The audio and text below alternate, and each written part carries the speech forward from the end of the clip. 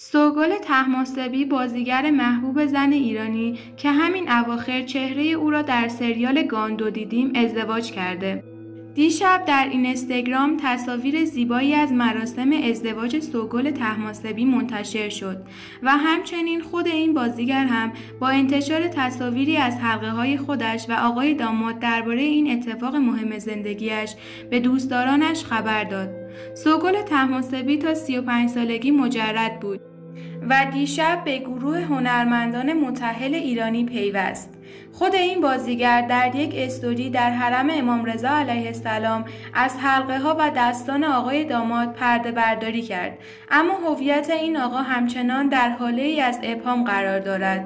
سوگل تحماسبی پیش از ازدواج درباره دلایل مجردی و مشخصات مرد ایدئالش گفته بود که انتخاب همسر برای بازیگران سخت است و همچنین آنها هم سخت انتخاب می شوند چرا که شرایط شغلی ما شرایط ویژه ای است. دوست دارم همسرم در آینده از همکارانم نباشد و بسیار مهربان باشد.